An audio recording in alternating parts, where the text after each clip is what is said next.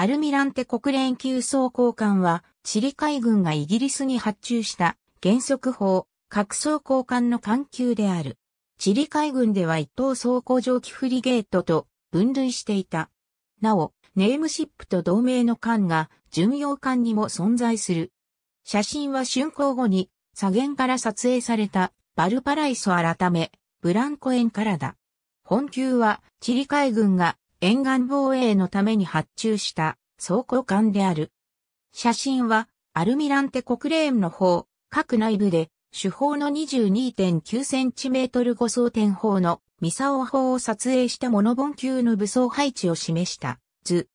上面図の下部が 22.9cm 主砲の旋回角と装甲図、上部が甲板上の 12cm 副砲の配置図。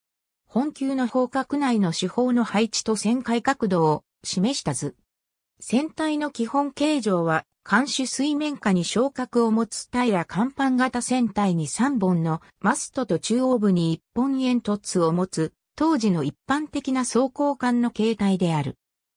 本級は原則の方角内には 22.9cm 主砲が単装砲画で片弦3機ずつ計6機が配置されており、床面には、円弧状のレールで手法の砲画の末部についた歯車を、砲員がクランクを回転させて、旋回、移動させることができ、少ない門数でも、方針を出した砲門を支点として砲尾部を動かすことにより、広い社会が得られた。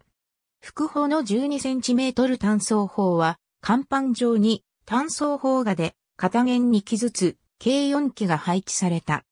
この武装配置により、本級は全方向に最大で 22.9cm 砲4門、5方向に最大で 22.9cm 最大2門、原則方向に最大で 22.9cm 砲3門、12cm 砲2門を施行することができた。